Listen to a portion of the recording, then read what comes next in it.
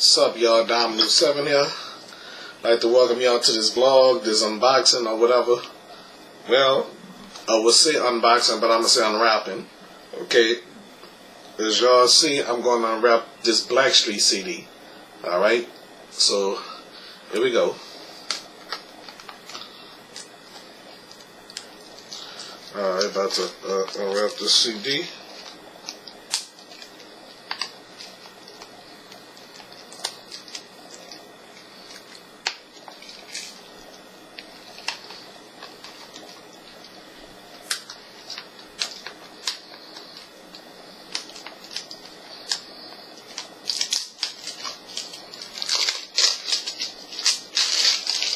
Alright. Almost done here. You know, I, I, I enjoy Blackstreet in my day. Okay. Got it. Here we go. Y'all look at the back. Mm-hmm. Maybe a short video. Mm-hmm. Look inside here. Different uh, members as far as that.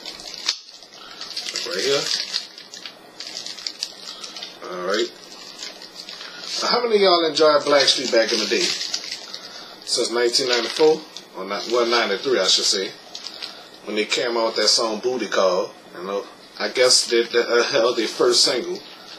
I thought Before I Let You Go was, was, was their first album. Okay. Alright. I guess it's past and present uh, of Blackstreet, you know.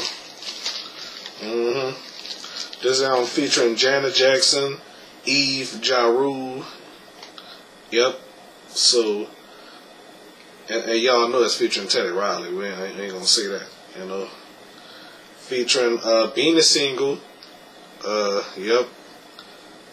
So, uh, all right, I'm gonna say it again. Featuring uh, uh, Janet Jackson, Ja Rule, Eve, Janet Jackson. I say Janet Jackson? Yeah.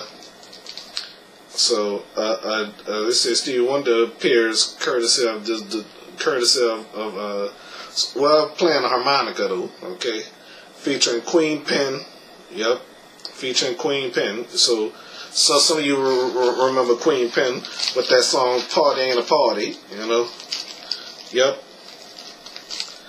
Well, I, I, I must say I, I, I, I love listening to CDs about to pop this crap in. Pop this in right now. Alright?